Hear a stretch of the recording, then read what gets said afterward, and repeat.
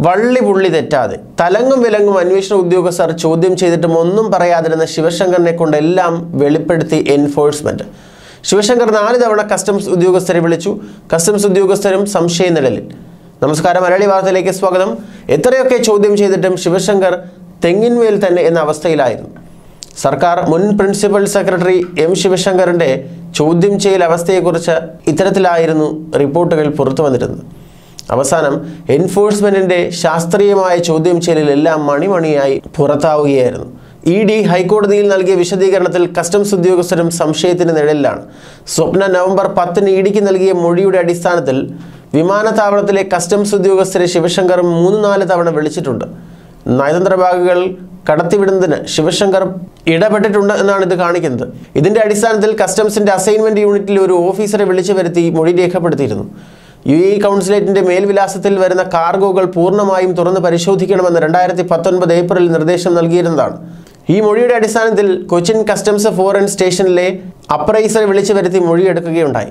കള്ളപ്പണം വെളുപ്പിക്കൽ നിയമത്തിലെ വകുപ്പ് അൻപത് പ്രകാരമായിരുന്നു ഈ ഉദ്യോഗസ്ഥരുടെ മൊഴിയെടുത്തത്. യു ഇ കൗൺസിലേറ്റിലേക്ക് വന്ന കാർഗോ തുറന്ന് പരിശോധിക്കാതെ വിട്ടു നൽകിയതായാണ് അവർ മൊഴി നൽകിയിരിക്കുന്നത്. ഇക്കാര്യത്തിൽ ഇ ഡിയുടെ അന്വേഷണം തുടരുകയാണ്. ക്ലിയറിംഗ് ഏജന്റിനെയും വിളിച്ചു വരുത്തിയിരുന്നുവെന്നും ഇ ഡിയുടെ റിപ്പോർട്ടിലുണ്ട്. ക്ലിയറിംഗ് ഏജന്റിനെ കുറിച്ച് വാട്സാപ്പ് സന്ദേശത്തിലും പറയുന്നുണ്ട്. ശിവശങ്കർ തന്റെ ഔദ്യോഗിക പദവി ദുരുപയോഗം ചെയ്തതിന് തെളിവാണിത്. ശിവശങ്കറിന്റെ ഇത്തരത്തിലുള്ള ഇടപെടലുകൾ സ്വപ്നയ്ക്ക് മുഖ്യമന്ത്രിയുടെ ഓഫീസിൽ വലിയ സ്വാധീനമാണുള്ളതെന്നും സന്ദേശം കൂടി നൽകുന്നുണ്ട്.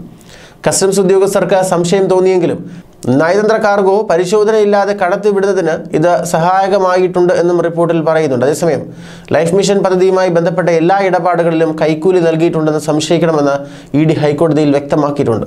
ഇക്കാര്യത്തിൽ അന്വേഷണം നടക്കുകയാണ്. ലൈഫ് മിഷന്റെ ഭാഗമായി വടക്കാഞ്ചേരിയിൽ ഫ്ളാറ്റ് നിർമ്മിക്കാൻ കരാർ ലഭിച്ച യൂണിറ്റ കമ്പനിയിൽ നിന്ന് ശിവശങ്കർ കൈക്കൂലി വാങ്ങിയിട്ടുണ്ട്.